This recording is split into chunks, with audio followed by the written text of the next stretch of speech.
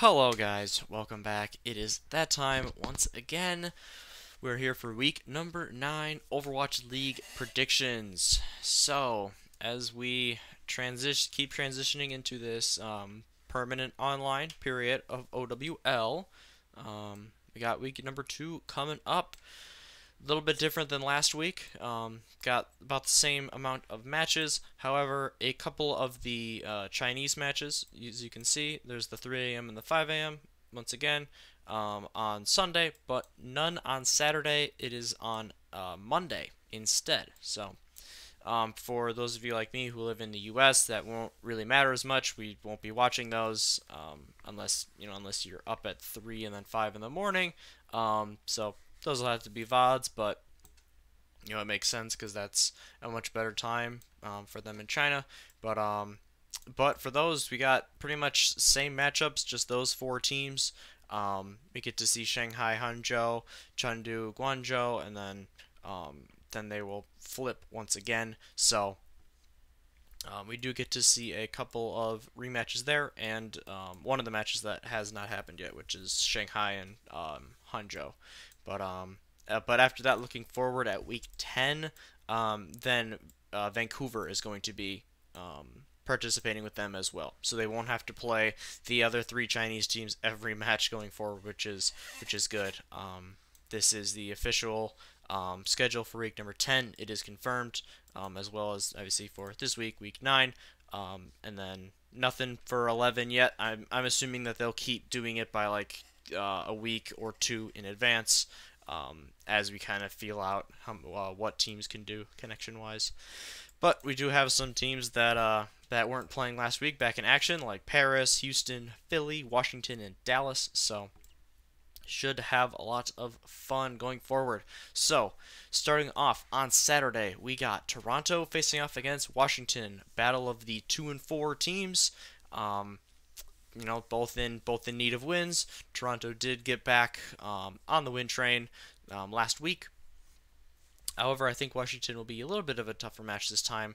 Um, I think these are two fairly even teams in terms of skill. Um, they both have several issues, which has you know led to some of their losses, but they do have a uh, good talent level. They're both teams I think that I think could make a push for um, play-ins. So it is a crucial match for both of them.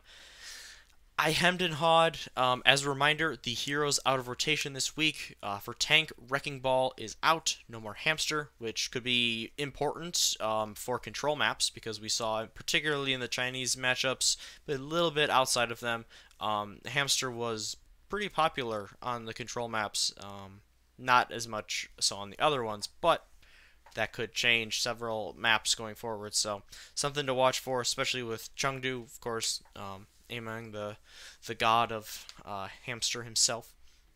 But besides Wrecking Ball, for support, uh, Brigitte is out. Um, last week we saw a lot of Brigitte and Zen. This week, I'm gonna predict we see a return to Lucio and Ana. Um, who knows for sure? But I don't really see Zen um, being played too much I don't think the I don't think it quite meshes well. And then for DPS we have McCree, and then of course Mei is out. Rejoice, everyone! Praise the sun. Um, we do not have to see any Mei this week in OWL. It's awesome. Um, if you didn't see, they did the hero picks. Um, they did it from Zoe's house, and they had her cat Nori, um, like whichever one that uh, he would sniff or hit with you know with his paw.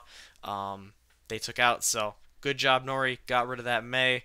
Um, the, you know that that really opens up the comps. Um, I'm predicting we're gonna see a lot of Rein and Zarya, but we, could still see double shield.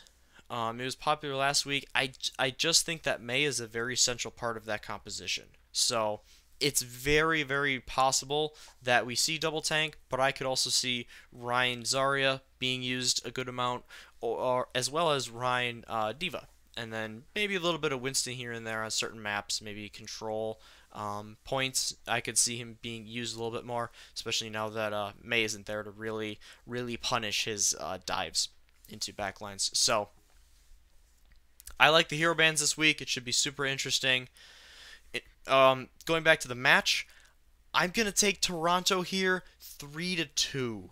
I just think that I like Toronto on control maps a bit more than Washington.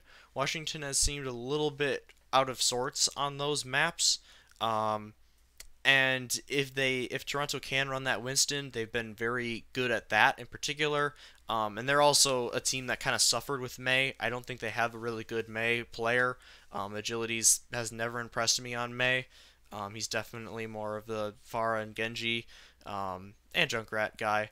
But um, I'm going to give them the slight edge um, in the series. I think they're just better on control. And in Overwatch League, you know, if you can win those control maps, you win the first map. And then if you can win one of the other map types, you get to go 2 uh, 2 to the final. And um, I think that they will get it done.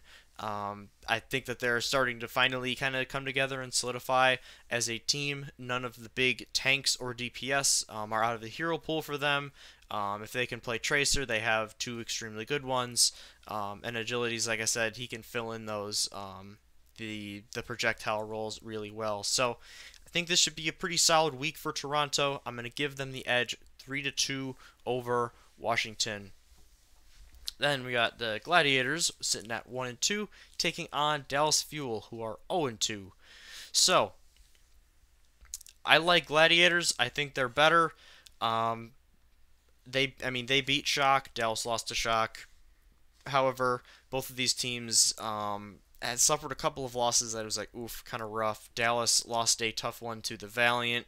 Uh, Gladiators just kind of fell flat against the Mei um, of uh, Seoul last week, so they uh, dropped that match. But again, I think the Gladiators are another team that they don't really have an amazing Mei player, um, and they're only going to be better moving forward without the Mei this week. My main concern for Gladiators, they seem like they have one style that they play. They run the Rein, the Zarya, and then they have Mirror on the Doomfist. And when that doesn't work, or when teams counter it, they don't really know what to do. Um, so that that's a little bit of a concern for me. However, no McCree in the pool. That's a buff to Doomfist. Um, so I'm going to take the Gladiators here. I haven't seen enough of Fuel. We obviously haven't seen them since week number one, their homestead. Um, but I think Gladiators are a better team overall. We've seen more from them. Uh, this should be a solid um, solid meta for them. They should be able to run the the Rein Zarya or or Rein D.Va if they want to, which um, OGE and Nevix like those heroes. So I'm gonna give them the edge here. I think Mirror pops off. Birdring has been playing extremely well so far, so I'm gonna give them the edge. I'll say three to one. I think they'll also take a map. Then we got a rematch of next, or of sorry, next week. We have a rematch of last week. Uh, LA Valiant taking on San Fran Shock. So the Shock, uh, they're one and two. I don't think a lot of people would have thought that. Um, if if you had told them that before the season started, Valiant coming off and you know another another solid win. They took down Shock three to one. Um, I think main issues with the Shock that I saw was they stylistically they didn't really have a lot of variation. Um, as soon as they had the Rein Zarya with Sinatraa on the Zarya, you know they're not going to switch to anything else because Sinatraa can't really play any other tanks, or I've never seen him play another tank um, at at the OWL level. So that could be it's a little concerning for Shock. I want to see ChoiHyoBin back in. I I get the I get the idea of going back to Sinatraa and Zarya because he's such a good Zarya, but it just doesn't really work in this meta. Um, in Goats, it was obviously a lot better because Zarya was the damage um, for your team. She, I mean, she was the by far the majority, but now with two DPS players in every match, it really changes it up, and he can't really have that same impact that he once had last season. Um, also, I don't know San Francisco, all they had to do was run Rascal on Mei. He's probably the best Mei in the world. He's he's definitely in the upper tier in the world of Meis, no doubt. Um, they could have just run that and and won easily. I'm not sure why they didn't. I don't know if something's happening with Rascal. We haven't really seen him in too much, but um, I don't know. Kind of kind of head scratching. I'm gonna go with San Francisco here. It probably makes more sense to go with Valiant, but I just can't picture San Fran going to one and three. They have too much talent for that, and I think that Um, unless there is a large skill discrepancy between the two teams, it's really hard to beat teams multiple times in a row. There obviously is not a large skill discrepancy here. If it is, it's in favor of San Francisco, not Valiant. So I'm going to say the Shock bounce back and take it 3 to 1. Um, but if they lose again this week, I think there's some. Lit, I think they play twice as well. No, they don't. They play. That's right. They play in week ten as well. But I think if you're if you're the shock and you lose again this week, there's legitimate cause for concern. But as of right now, I'm gonna say don't panic. It's only a couple of games, um, only one week of you know that little mini meta. So I think San Francisco bounces back and gets a win on the board here. Then we got Shanghai and Hangzhou this one's tough for me. Shanghai is going to be a team that I think vexes me and a lot of other people all season. They're going to have uh, pretty varying performances. Um, I'm gonna take Shanghai here because I just haven't been super impressed with Hangzhou. I don't. I've just. I've never been that impressed with Hangzhou, even last season when they were winning a ton of games. So maybe it's just a thing in my brain. I don't. I don't have anything against them it's just their style of play and you know their players and how how they've won matches in the past. It's they win a lot of close ones and they just kind of find ways to win, which there's nothing wrong with that. But at times Shanghai looks absolutely dominant. Um, this team I think has even a little bit more talent than last season, which they made play-ins and they won a stage playoff, which is very impressive. Um, so I'm gonna take Shanghai here. I'll say it's a three to one. But it's kind of like which Shanghai's gonna show up. Um, I I do think that they bounce back though. Fleta it, Fleta is just so good. He played so well on that Mei. Even though Mei's not available this week, it's Fleta. He's so flexible. He's going to pop off on another hero that is good this week. You don't really have to worry about that. And I've been impressed with their tank line as well. I think Void in particular was really, really good on the Sigma, and we know that he's a really solid D.Va player as well. Um, and he can he you know he can play as. It's it's decent. So I think that Shanghai is in good position here, and they get win number two. Then Chengdu versus Guangzhou. See, this is a tough one because I think on paper Guangzhou is clearly better, but Guangzhou's style has always been a little bit sloppy, and they're a little bit brawly. And one thing we know about Chengdu, they excel in brawly, weird fights. So I'm going to go for an upset here. I think without Wrecking Ball, it does not matter. Chengdu gets it done in five. They take it three to two. Guangzhou is very, very talented, but I still think there's just a couple of things holding them back. Like I said, sloppiness, all ult mismanagement has been pretty big this season, and honestly, um, I think Krong has had some nice moments, but he's also a new player in the lineup um, this season. He was down in contenders last season, and they had Hotba for their off tank, but now he is the um, you know he's the off tank for him now that Hotba's on New York. So I still think there's a little bit of synergy that needs to happen between him and Ria, um, or Rio, sorry. Um, him and Rio aren't quite on the same page quite yet, I don't think, and their the Guangzhou's um, their uh, DPS have been a little bit up and down as well. Happy has been a pretty freaking streaky player. Uh, Nero's Nero's best heroes are Mei and Hanzo. Mei is gone. If Hanzo is, you know, if Hanzo gets a lot of usage, maybe I mean he could find success there. Also, if Pharah is meta um, for the week, uh, Nero's an extremely good Pharah, but who knows? I don't I don't know. I think Pharah might be used on a couple of maps, but I don't see her getting a ton of usage um, with with Widow still hanging around. But I just have a feeling that the Hunters are going to pull this off. Their DPS have a ton of talent. Baconjack had a really really nice performance um, last week. You know, and Jinmu, besides his absolutely head scratching blade usage at times, he's still an extremely extremely talented player. So I think they get the job done in five um, in a bit of an upset. Then we got Houston coming off of back-to-back victories, taking on Paris.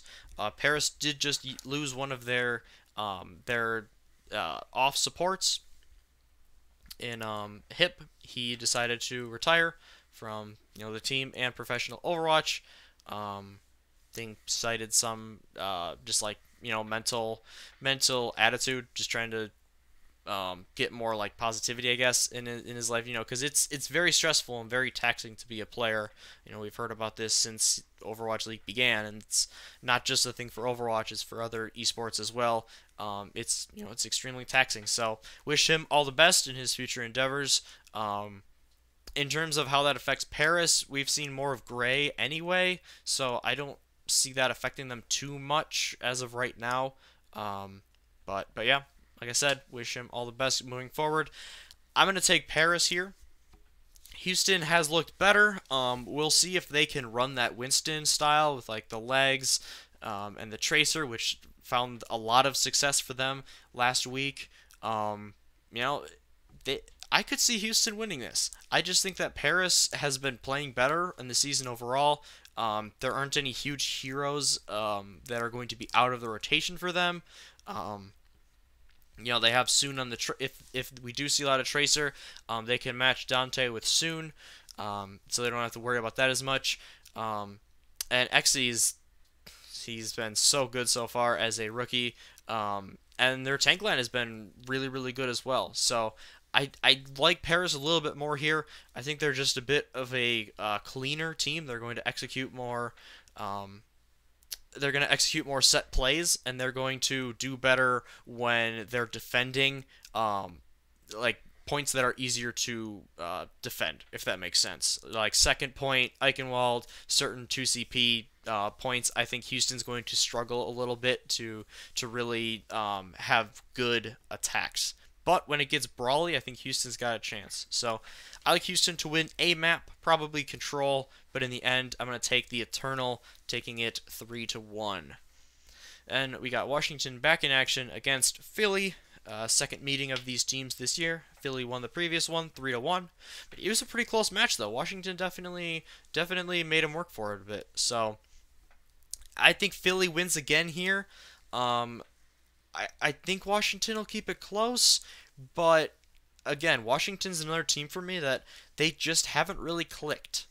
And I don't really trust that against a team like Philly, who has been very, very solid this season. Um, one of the stigmas around them for the first two seasons was that they were super inconsistent. You never knew which Philly you're going to get. I think we've gotten pretty much the same Philly this whole season. I think that their team, um, like the the entire chemistry, the attitude um, from the team is a lot better this year. Um, I think they're enjoying these uh, metas a lot more than Goats. Goats just really wasn't their thing. Um, no more McCree for Carpe, but there's still Tracer and of course Widow, so I think they'll be fine there. They have other flexible DPSs as well, and um, I believe Heesu is finally is finally old enough. I believe he turned 18 like a week or two ago. So ooh, he he he can pop off. So we'll see if we see him at all. I'll watch for that. But like I said, Philly, I just feel better about them. I trust them more than Washington right now. Like I said, I, I just got to see more from Washington before I say they can take down a team like Philly. So I'll say Philly takes it 3 to 1 again. And speaking of rematches, Dallas Fuel versus LA Valiant. Um, Valiant did beat them, like I said, in week number one. Dallas, they'll either be 1 and 2 or 0 and 3 at this point, so they really need those wins. Again, I'm going to go for a little bit of an upset here. I'll say Dallas wins. I saw some things I liked from Dallas the first couple of games. If this coaching staff is good, this has to be, they've had so much time and I know that there have been circumstances obviously with the pandemic but I, if there's going to be a time that they are going to start to turn the season around, they have to do it now. The first two seasons, both times, they just got off to these bad starts, um, especially in season one, and they couldn't really recover from it. So they've got to win a match this week. If you're 0 4, it's starting to look real grim. You know the how how are people's mentals holding up after that? And the Valiant have been a really you know they've been a solid team, better than a lot of people thought they would be this season. Um, but they are a beatable team for the fuel. They are beatable. So are the Gladiators, for that matter. Um, so, like I said, you've got to get it done. They've got the pieces. They in their first two games, like I said, they they went toe to toe with the Shock. They they had some great plays from Decay, And I like their tank line as well. I think the Gamsu note has been really solid. And if they play really solid and they enable their DPS to pop off, they can win matches. So I'm I'm gonna go for go for the fuel here. I think Decay and, and Doha do enough for them. Um, and they take it in a fifth map. I'll say it goes to five. Then we got the Hunters and the Dragons. Uh, the Hunters 3 0'd last time. This is the Chinese teams. Shanghai 3 0's them. I'm gonna say Shanghai 3 0's them this time because why not? That's that's just how it seems to go down with these teams. Chengdu's gonna get a nice win against Guangzhou, and then boom, Shanghai's gonna take it right back. And then for the final game, we got Guangzhou and Hangzhou. Um, like I said, obviously, if you don't want to watch these games live, that's fine. It makes sense. But go back and watch the VODs because these are extremely fun matches to watch. Uh, Guangzhou and Hangzhou, I'll say Hangzhou clutches it out in map 5, 3 to 2. Why not? I think that they have they still have that really solid back line. I think uh, BB, Bebe, however you say his name, has been playing a lot better this season, and IDK is going to be back on that Lucio, um, popping off because the man is a monster on Lucio. Um, and I I really like Guxue as well as the main tank. Um, I think that the support and the tank line will, in the end, carry them over Guangzhou by just a little bit. So there we go week number nine predictions. We got a lot of interesting ones, a lot of uh, rematches from weeks prior, um, but it's been a long time, and we have different heroes banned. So uh, we might be seeing some teams get their revenge. We might be seeing repeats. Uh, we got a couple of teams that have gotten off to rough starts, like Houston and Dallas, looking for big wins. We'll see if they can get them or if they continue to struggle. Um, but yeah, should be a very fun week of matches. I will definitely be uh, watching um, all of the the ones that have that are at a reasonable time for us. Um, I will be watching them live. So hope you guys enjoy that. If there are a lot of technical issues, I might stream and like solo cast some of the games. Um, but we'll see. A lot of times their technical issues are the same for us coming through, but um, just a possibility to watch for. But as always, let me know what you think in the comments below. Any huge upsets you have any um, if, are any of your teams coming back to action that you're excited to see? I know Dallas fans haven't seen their haven't seen their team in a long time, so hope you guys are excited.